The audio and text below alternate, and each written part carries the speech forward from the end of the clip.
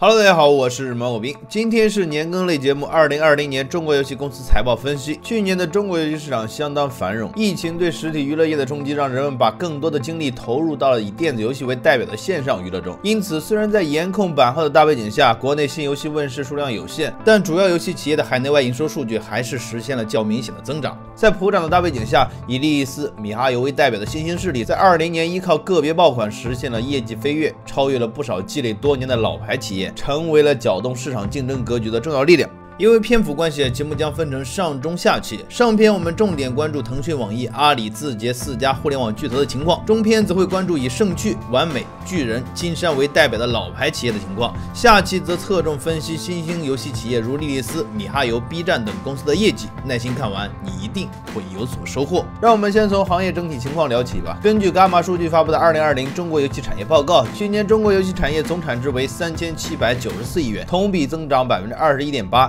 中国内市场收入两千七百八十七亿，增长百分之二十点七，而游戏出口收入一百五十五亿美元，同比增长百分之三十三点三，两者的增速均较一九年有明显提升，这基本上与上半年的居家隔离政策有关。游戏出海的增速高于国内市场增速，则得益于版号严控背景下，游戏公司对出海战略的坚决执行。随着二零二零下半年国内疫情情况的好转，居家红利逐渐消退，再加上市场对于游戏买量成本的不断攀升，以及产品同质化的担忧，最终导致了以世纪华通、三七。互娱为首的 A 股上市游戏公司股价集体下挫，让人不禁感叹：只有大潮退去时，才能看清到底谁在裸泳。在游戏类型分布上，移动游戏市场收入两千零九十七亿，同比增长百分之三十三，占市场总份额的百分之七十五。客户端网游收入五百五十九亿，同比下降百分之九点一，占总额的百分之二十左右。网页游戏收入连续五年加速萎缩，总营收仅为七十六点一亿元，占比不到百分之三。单机游戏市场在基数较小的前提下实现了高速增长，总收。入二十三亿元，同比增长百分之三十点七。不过需要说明的是啊，随着手机游戏的不断发展，有越来越多的产品开始选择为电脑定制专门的客户端。去年比较有代表性的新产品《原神》《天刀》手游等均是如此。按照这个趋势发展下去，以客户端游戏、移动游戏对市场进行分类的方式，或许已不够严谨。拿我自己来说，除了出门在外的时候，我真的很少用手机玩手游，所以客户端网游的未来未必便真如数据所示那般悲观。跨端游戏或许将成为主流。好了。说完宏观市场，我们来聊聊具体企业的表现吧。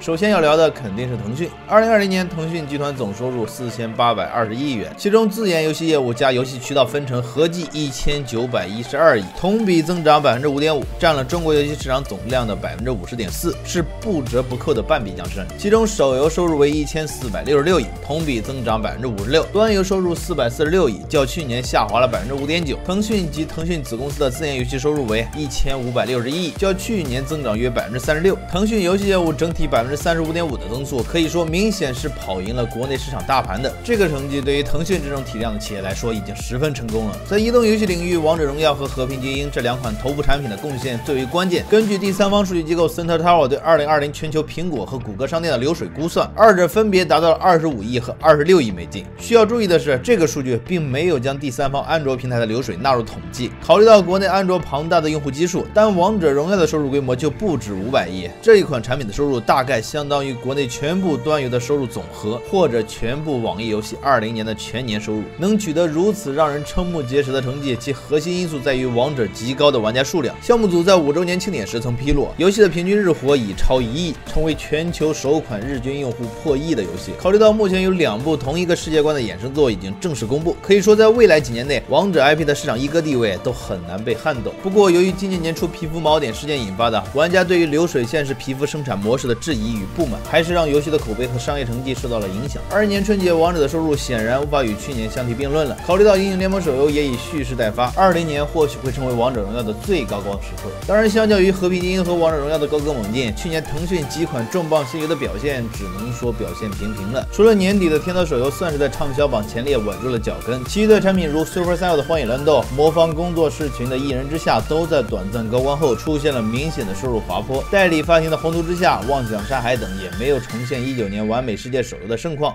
只能说，目前竞争日益激烈的手游市场中，哪怕是拥有一定获客优势的腾讯，也很难靠宣发来批量生产爆款。去年腾讯游戏业务遭遇的最大挫折，无疑是 DF 手游在上线前夕被紧急叫停。具体原因，目前业内普遍的说法是版号存在瑕疵，被友商 gank 了一手。在如 DF 端游不景气的大背景下，腾讯本希望通过端转手来延续 IP 寿命，却不成想出了大岔子，让本已摩拳擦掌的玩家们再度希望落空。希望今年内能解决相关问题，尽快上线吧。说完了移动端，再聊聊出现收入下滑的端游吧。财报中对于端游收入下滑给出的理由是，上半年疫情使得中国大部分网吧停业关门，进而导致端游营收受到影响。但我对这个结论并不认可。大家都在家，按理说应该有更强的动力去玩端游啊。网易、完美的端游业务都在疫情期间有所回暖，单单腾讯端游收入锐减，实在没法给网吧甩锅，不是？在二零今年上半年的财报中，特别点名了 DNF 与穿越火线的表现。我个人倾向于认为，还是产品本身质量出了问题，再加上腾讯的手游化力度最强，替代品很多，这才造成了端游业务不景气的结果。在内部孵化成本不断攀升、外部严控版号的情况下，外部投资成为了腾讯在去年十分仰仗的扩张手段。既有收购乐游科技、控股波西米亚娱乐、入股 Voodoo、白金工作室这样布局全球的大手笔，也有面向国内市场的投资网云盛唐、云畅游戏、无端科技、增资 B 站等操作。去年国内游戏领域的投资谈判非常密集，在以头条系为代表的新兴资方带来的一股股热钱影响下，恐怕在接下来很长一段时间中，只要国内有一定研发实力的企业，面临的状况都不是拿不到钱，而是到底要拿哪一家的钱。去年和一些从事相关工作的朋友交流，大家都觉得目前投资领域对游戏公司的估值有些过于激进了。不知道这股热潮会在何时退去，又是哪一家能够笑到最后呢？稍微总结一下吧，去年腾讯的头部产品表现抢眼，对冲掉了新产品表现平平和老产品自然退热带来的负面影响。虽然财报的数据非常好看，但其实它所面临的挑战可以说是不减反增。巩固自身在 MOBA、FPS 等大 DAU 类产品领域的优势，扩张海外业务啊，会是腾讯的主要战略目标。聊完一哥腾讯，我们再来聊聊二哥网易。二零二零年，网易集团总收入为七百三十七亿人民币，其中游戏收入五百四十六亿，同比增长百分之十七点六，占公司总收入的百分之七十四点一。手游收入三百九十三亿，端游一百五十三亿，二二者所占比例和往年相比差距不大。相较于腾讯端游的营收下滑，网易的端游业务还出现了十几亿的增长，这或许反映了网易作为老牌网游开发商，其基本盘更稳，老用户的情怀也更足。在疫情居家期间，不少人重新回流到了老端游之中。去年网易游戏的基本盘仍然由梦幻系列、大话系列、阴阳师系列和率土之滨所维持，新产品中也有很多是基于这些 IP 的衍生作，《梦幻西游三 D》、《梦幻西游 H 五》与《阴阳师百文牌》、《阴阳师妖怪屋》都是如此。率土之滨虽虽然被《三国志战略版》超越，退居国内第二 SLG，但却也击退了腾讯代理的三国 SLG 挑战者《宏图之下》，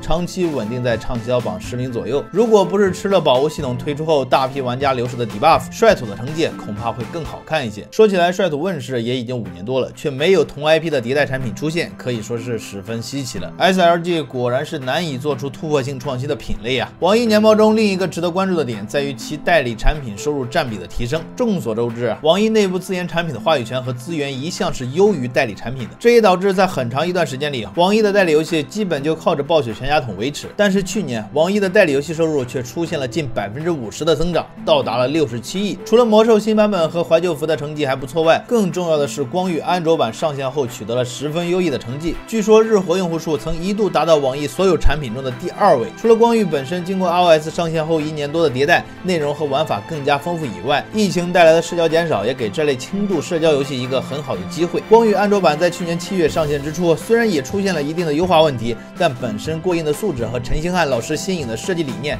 还是逐渐征服了不少年轻玩家的心。光遇可以说是去年网易游戏业务的一大亮点。在光遇一九年财报中被着重强调的出海业务，在二零年则相对平稳。第五人格、荒野行动等在日本市场的活跃人数和收入都有一定提升。值得一提的是，年报中专门强调了两款由网易参与研发的 IP 授权手游已在海外成功上线：EVE 无尽银河和一款漫威 IP 的 MOBA《漫威超级战争》。不过，在进口版号审核极慢的大背景下，这两款游戏想要与中国玩家见面，恐怕还要有一段时间。总体而言，网易去年的表现比较平稳，与国内市场大盘的走势相吻合，自研 IP 占主导的地位也没有改变。不过，这种态势很大程度上是因为进口游戏版号审批速度过慢造成的。其实，网易真的有不少 IP 合作产品已经具备了上线的条件，除了刚才说的 EVE 手游、漫威 MOBA 外，还有暗黑破坏神不朽，哈利波特魔法觉醒》《指环王崛起之战》等一大堆产品蓄势待发。考虑到《暗黑不朽》和《魔法觉醒》都已顺利拿到了版号，年内甚至暑期或许就能玩到了。可以说，网易游戏2021年的表现与这些 IP 授权作在全球的成绩紧密相关。我认为，网易游戏目前对于出海战略的执行还是比较坚决的。在研 IP 授权项目数量巨大，只是成效如何，尚需两到三年才能有结果。说完了腾讯、网易两个大厂，我想稍微聊聊阿里和头条两个逐渐加大游戏领域投入的互联网巨头在二零年的表现。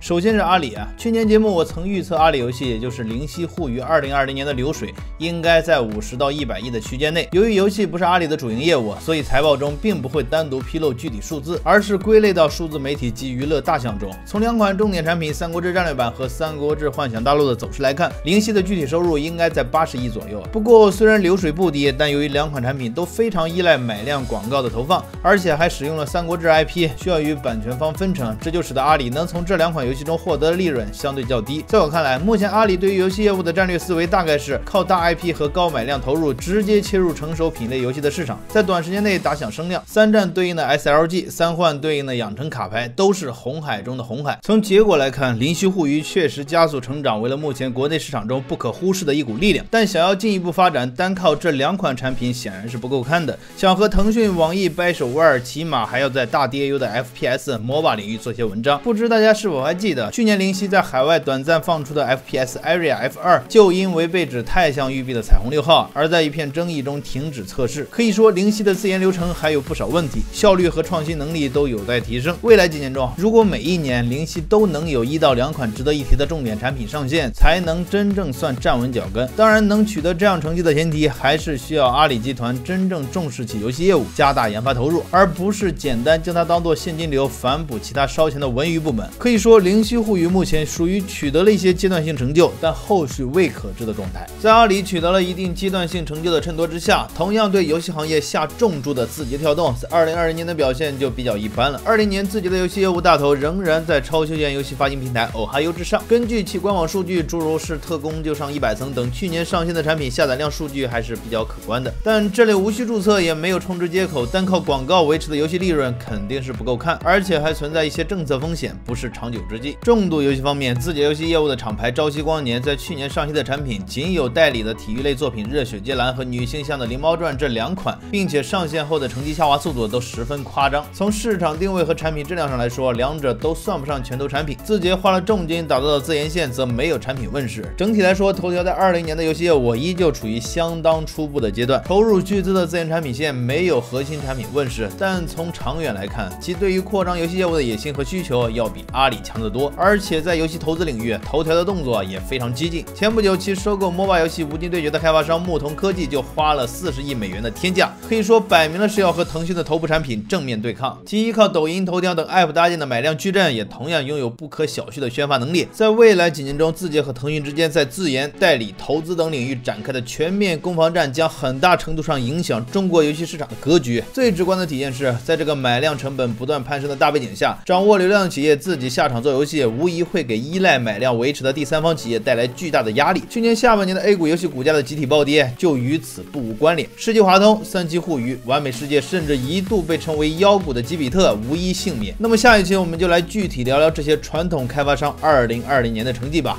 好的，这一期节目就到这里，请大家点赞支持。如果你对中国游戏和游戏行业感兴趣的话，欢迎订阅我的 YouTube 频道。我们下期再见。